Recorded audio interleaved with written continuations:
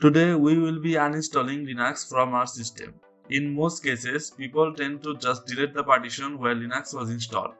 But this causes the grub loader or the bootloader of Linux to get confused and not boot into anything.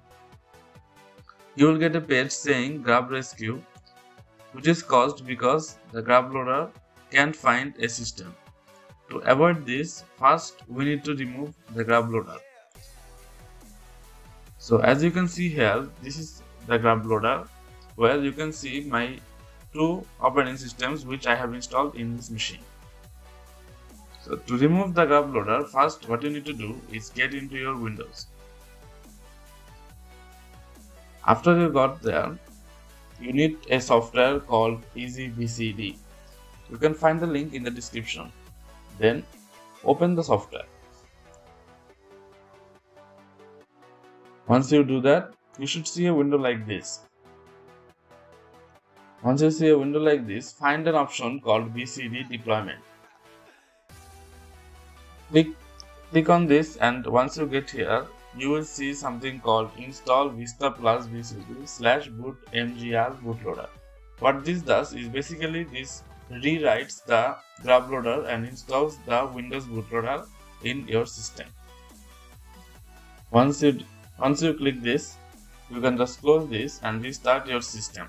This should have removed the grub loader. Then restart your PC to check if it worked.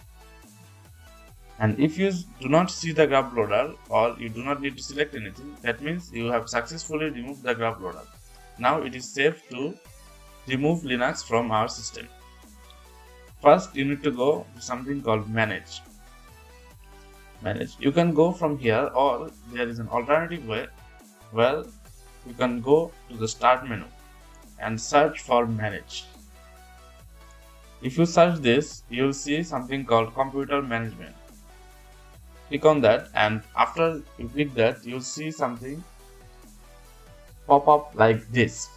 If you once you get there search for disk management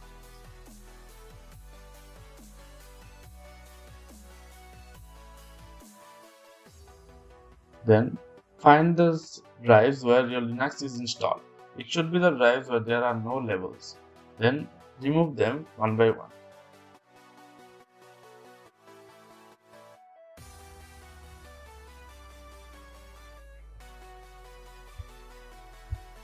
Once you are done, it should look like this. If you have an extended partition like mine, you can just extend the partition which is your logical drive and you can extend it just by clicking the extend. Or you can just make a new volume. And now you can see we have an extended drive. So this is how you can remove linux from your system safely